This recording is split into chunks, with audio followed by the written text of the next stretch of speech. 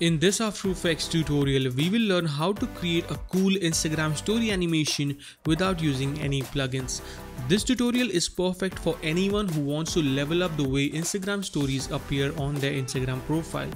Also, this tutorial is for people who are already familiar with using After Effects. So I'm gonna assume that you have a basic knowledge of using After Effects as I won't be covering each and every shortcuts and stuff like that. So with that said, let's jump into After Effects and get started.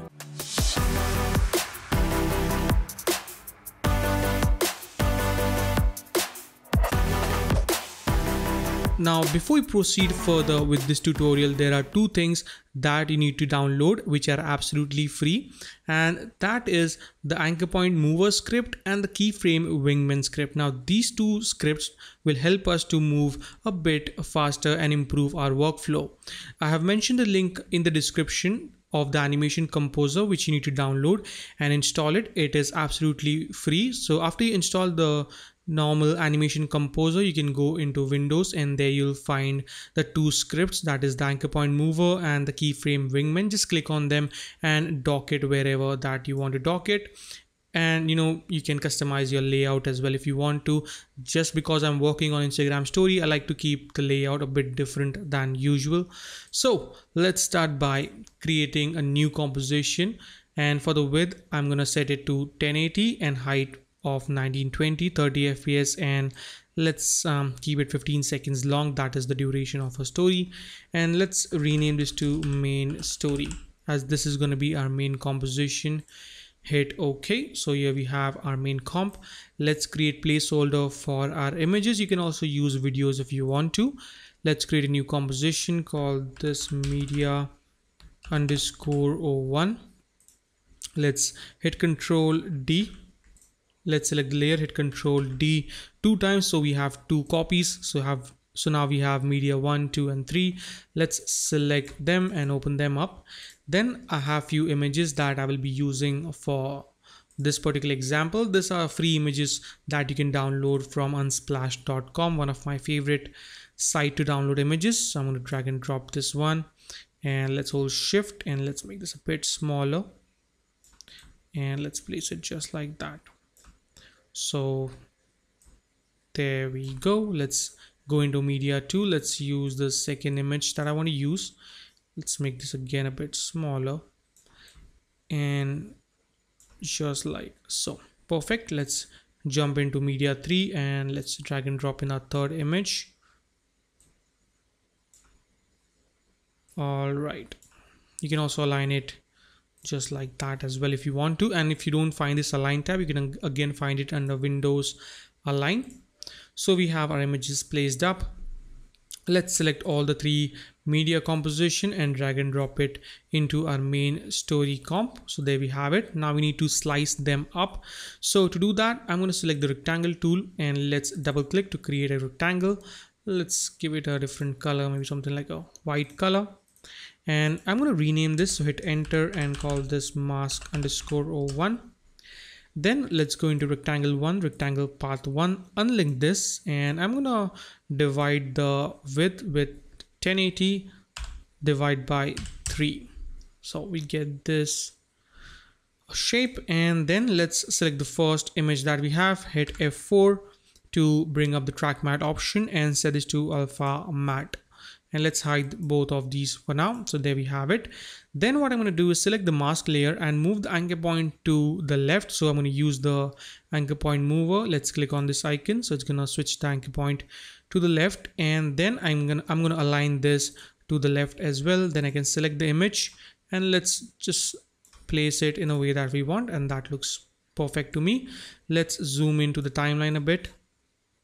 I'm going to go to one second select the media and the mask hit P to bring down the position properties create a keyframe go back. Let's pull down the mask all the way out of the frame just like so. And then move the image a little bit to the bottom just like that. So we have a pretty simple animation. Now to make it look interesting i'm going to use the keyframe wingman which basically helps us to tweak the keyframe animation without the need of jumping into the graph editor. So I'm going to select the keyframe and here we have the keyframe Wingman. I'm going to set this to 85. You can just manually type in 85. Select the, all the keyframes that we need to add the animation to and click on this icon. So now we have a really interesting smooth animation. Now you can do that manually as well if you know if you can select the keyframe jumping to the graph editor and manually tweak it but this as you can see saves a lot of time. So there we go. There we have our animation. Now i'm going to jump 10 frames forward. That is let's go to one second and 10 frames. Then what i'm going to do is select this mask hit s to bring down the scale properties. Unlink the scale. Let's create a keyframe on the scale. Go to two seconds and scale this up to 300 all right let's select the media let's go right over here. Click on this icon. So it's going to create a keyframe. Go right over here and set this to 540 so it's perfectly into the center. You can also align it from the align section if you want. Select this keyframes and let's click on this icon. So now let's see what we have. Pretty nice. That is what i'm looking for. Let's go to one second two second and 10 frames. So let's copy paste this keyframes. Select this hit control c control v. Select this one control c control v then I'll jump to 3 seconds, select this first keyframe, Control C, Control V, and select this one, Control C, Control V. So now we have something like this. Pretty nice and simple. So this is the base of our first animation. Now all I have to do is let's select the mask, hit Control D to duplicate it. So now we have mask 2. Let's put it on the top of the media 2 comp. I'm gonna just hide the first one turn on the media 2 and set this to alpha matte then I can select this hit U so we can see the keyframes go at the very beginning select the layer and align it into the center. Also move the anchor point into the center. Let's go right over here and move it into the center. So now we have this nice animation. Select the media comp hit P to bring down the position properties create a keyframe go back and let's bring that down. So let's see the position property property of this one. So i'm gonna bring that down to 1216 so we can just simply control c copy this and paste it right over here. There we go. So now we have something like that. Let's select the keyframes and click on this icon again to add the same animation. Pretty nice and because the anchor point is in the center you can see we get the scale animation that we wanted. Pretty cool right? The one thing that I want to add is a small scale animation to the media as well. So hit S create a keyframe go right over here and set this to 110 go right here control C control V.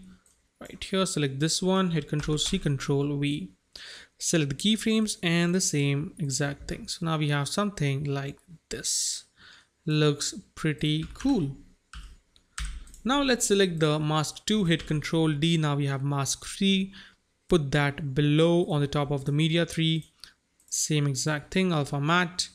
This time I'm going to move the mask to the right. Oh make sure your time indicator is at the very start. Hit U let's go right over here. Put this to the right. Right over here. Put this to the right. So we have something like that. Let's place the image the way we want it to look. So something like that. Select this hit p. Create a keyframe. Go back. And what was the position? So let's see the position. 1216 control c control v. And there we go. Let's select the keyframes and the same exact stuff let's see the keyframes again and yep that is what i'm going for now what I'm going to do is make sure you change the anchor point to the right. Let's go right over here, move the anchor point to the right and align it to the right as well. So now we have something like that. Let's jump right over here. You can click on this icon to add the position, go right over here and align it into the center. So we have this nice animation. Let's go right here, copy this keyframe, hit Control C, Control V, copy this one hit control C control V. So now we have something like that. So there we go. There we have our animation. But things are not gonna look right because we have all the animation at the same time which I don't really like so there we go. Let's before we proceed further with anything let's go ahead into the effects and control panel. Effects and preset panel sorry. And I'm going to use an effect called tint just to add a really nice look. And let's set the this one to a nice green color. And the blacks to a nice purplish dark purplish color just like so I can select the tint hit control C paste it on the second one. Control V change the primary color to a nice red color. And then control V to paste it on the third one and change the primary color to a nice yellow. Now obviously you can go with different colors like you know something like a purple or something like that. But I'm gonna go with the yellow. Looks good. All right so now it's looking much better. But now we need to fix some animation. So now what I'm going to do is let's jump five frames forward select the mask 2 and media 2 gonna snap in right over here jump to 10 frames and snap the mask 3 and media 3 right over here. So we have a little bit of displacement. Still it's not looking the way we want. You can see. So let's close this up. So now what I'm going to do is select all the layers hit U and we need to move the keyframes a bit so what I'm going to do is where the first animation ends that is right over here I'm going to move these keyframes to start from right there. So I'm going to just move them like so. Then I'm going to move where the second animation ends and let's select the keyframes and move them just like so. But still they're not gonna look the way we want. So now to fix this it's pretty simple. All you have to do is first of all pre-compose them. So i'm gonna select the mask one and media one hit control shift c to pre-compose them. I'm gonna call this o1 just being a bit lazy just, just so that we proceed a bit fast with the tutorial because you know if i moved at a very uh, plain speed the tutorial is going to be super long and I don't want to do that because the steps are pretty simple and very much self-explanatory but wherever is needed or required I'm gonna you know give you guys all the information regarding it. So we have the pre-comp. Let's select mask 2 and media 2 hit control shift C call this O2 Can select this control shift C call this O3 all right. Now just so that we don't get mess up i'm going to change the color of this layer to red or to green because this one is the green color. Second one has a nice red so let's switch to red. And the third one has a nice yellow so i'm going to switch to yellow. All right. So now what i'm going to do is let's go right over here where the animation ends. I'm gonna go into edit and split the layer and put it at the back. So now when the second animation starts, it's on the top. Then the second animation ends thing right over here. So let's jump on to the second one. Let's select the layer, hit U and let's see where it ends. So it ends at 4 second and 20 frames. That is right over here. Select the layer, go to edit, split layer or hit control shift D put this at the back and bam. Now if I preview this we get the desired animation that we were going for. Pretty simple and easy. Now I'm going to jump into the media composition so select all of them. Let's create a new adjustment layer called this T for transform and I'm going to add a subtle zoom animation. So let's again actually go into effects and presets. Let's place it right over here. And I'm gonna add transform. Let's go at the very start. Create a keyframe on the scale height. Go to around 10 seconds. And set this to 115 then I can simply copy paste this layer hit control C and control V control V. So we have a subtle zoom animation going on. Looks pretty nice. And then we can finally add in some text. Also the images are not looking that sharp. So to do that first of all i'm going to set this to full. And what i can do is let's go into the media. Let's go onto the transform. And let's add unsharp mask and set this to around 3 all right let's copy paste this. Hit control c control v and control v. All right so that is looking much better. Really quickly i'm gonna add some color adjustments or create an adjustment layer call the cc go into effects and preset and type in curves. Double click. Let's punch up the contrast. Just a touch. Let's jump into the blues punch that up a bit. All right. So that is the look i am going for. Finally i'm gonna go ahead and add some uh, text which is super simple. I'm to select the text tool and i'm to use the helvetica now font. You can of course use any font that you like. Let's call this street let's place it into the center. Duplicate this and i'm to call this style let's move this below. For the font weight i'm to go with a black. Yep that looks good. Set the scale to 200 there we go. That is looking pretty good. Let's add some nice background to this. So i'm to create a shape just like that. Put this at the back of the text. And I'll just move this right here. Let's select the street and the shape layer that we created. Align them properly. There we go. Also you can move the anchor point into the center. So that is looking pretty nice. Let's call this box underscore 01 and create a simple nice and simple animation for this. So what I'm going to do is select the text layer go into effects and preset call this add an effect called set matte, which is gonna act as a track matte. Let's select the box one.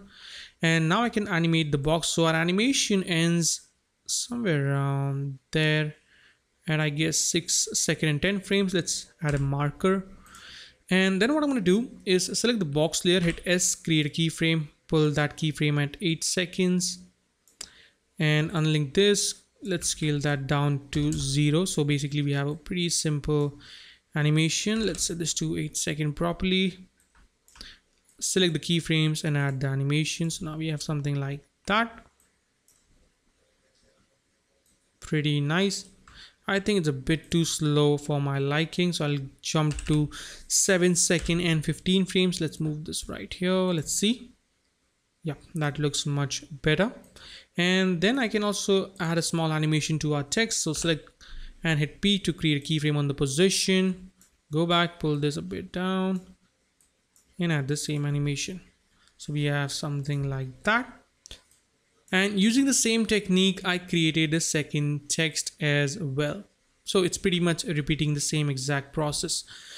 And boom there you have your cool Instagram story animation which looks pretty cool and insane. You can add in your products and stuff like that to promote them. You can add three products at the same time or your merchandise whatever that you want to do. And it's gonna look super duper cool. You can also use videos if you want to.